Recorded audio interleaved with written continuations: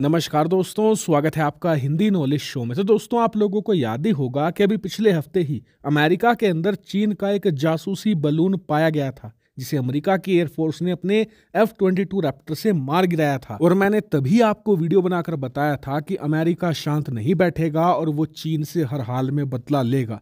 तो खैर, ये बात अब सही साबित होती दिख रही है, क्योंकि अमेरिका ने चीन से अपना बदला लेना शुरू कर दिया है। लेकिन ये खबर बताने से पहले आपको एक बहुत बड़ी जानकारी ये दे दूँ कि अब से एक हफ़्ता पहले जैसे एक स्पाई बलून अमेरिका में दिखा था, जिसे अमेरिका ने मार गिराया था, ठीक ऐसा ही एक गुब्बारा। अब से कुछ घंटे पहले कनाडा के ऊपर घूमता पाया गया था, जिसे कनाडा के प्रधानमंत्री के आदेशों के बाद अमरीकी एयरफोर्स के एफ़ ट्वेंटी टू रैप्टर ने मारकर गिरा दिया है। हालाँकि आप कहोगे कि स्पाई बलून कनाडा के ऊपर दिखा। कनाडा की सरकार ने इसे ट्रैक किया और आदेश भी उन्होंने ही दिया। फिर अमेरिकी एयरफोर्स ने क्यों मारकर गिराया? इसका कारण ये है कि दोनों देशों के बीच में एक बहुत बड़ा डिफेंस पैक्ट है, जिसके तहत अगर किसी एक पर भी कोई खतरा आता है तो दोनों मिलकर उसके खिलाफ लड़ते हैं। इसीलिए इस चीनी जासूसी गुब्बारे के खिलाफ दोनों ने ज्वाइंट कार्रवाई करी है। हालाँकि अमेरिका का एफ़ ट्वेंटी टू रैप्टर ही चीन के जासूसी बलून के खिलाफ क्यों इस्तेमाल हो रहा है, इस पर मैं अलग से एक वीडियो बनाने वाला हूँ।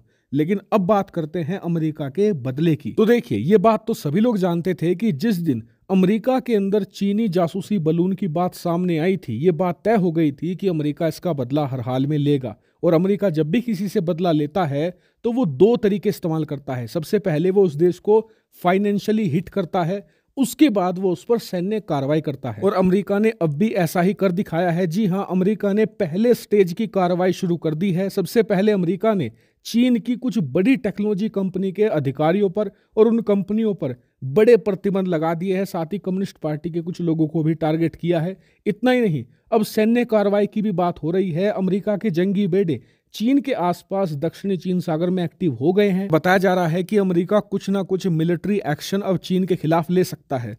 तो क्या कर सकता है? यहाँ पर अमेरिका के पास क्या ऑप्शन है? तो सबसे बड़ा ऑप्शन मेरे हिसाब से ये है कि आने वाले कुछ समय के अंदर अमेरिका अपने एफ़ ट्वेंटी टू रैप्टर या एफ़ थर्टी फाइव में से किसी एक लड़ाकू विमान को चीन के बहुत ही करीब हो सके तो चीन के अंदर भी घुसा सकता है। और अगर आपको ये मज़ाक लग रहा है तो आपकी जानकारी के लिए बता दूँ कि अमेरिका ऑलरेडी ऐसा कर चुका है। दरअसल 2019 में जो चीन की फाइनेंशियल कैपिटल है, जैसे हमारे लिए मुंबई है, ऐसे ही चीन की फाइनेंशियल कैपिटल है शंघाई। तो अमरीकी लड़ाकू विमान शंघाई के 70 किलोमीटर करीब तक पहुँच गए थे। जी हाँ जहाँ पर अमरीकी लड़ाकू विमान थे, वहाँ से शंघाई की दूरी मात्र 70 किलोमीटर रह गई थी।